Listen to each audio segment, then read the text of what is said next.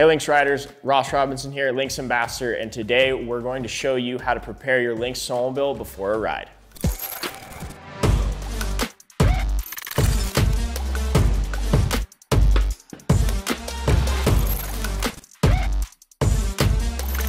Don't forget to hit the subscribe button below to get the latest Lynx Snowmobile how-to content and insider information. Before heading out on the snow, you'll want to make sure your sled is in proper working condition so you avoid any unwanted surprises on the trail or in the backcountry. This pre-ride checklist will help you make sure every ride is as good as it can possibly be.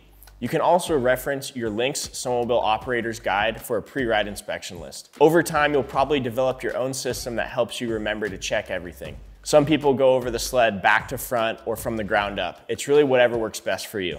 Now let's get started. You'll wanna remove your tether cord for this first part. Before we even start the engine, there are a few things we wanna look at. Be sure to remove any ice and snow buildup from the running boards, lights, seats, controls, and dash area.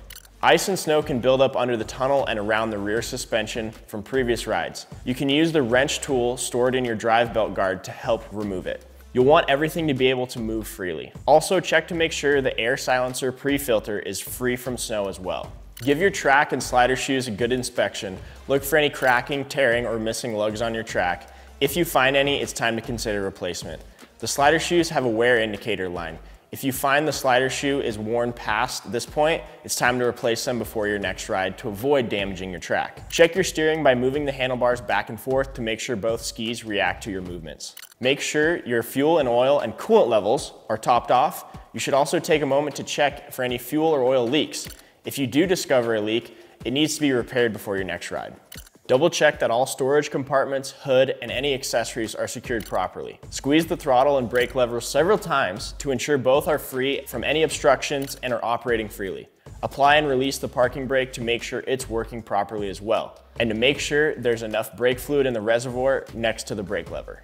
Open the left side panel and give your drive belt a good look, checking to see that it's not cracking or overly worn, and that it sits at the proper height between the clutch sheaves you should just be able to see the bottom of the drive belt cogs. This varies slightly depending on your engine and model, so check your Lynx operator's guide to find the specifics on your snowmobile.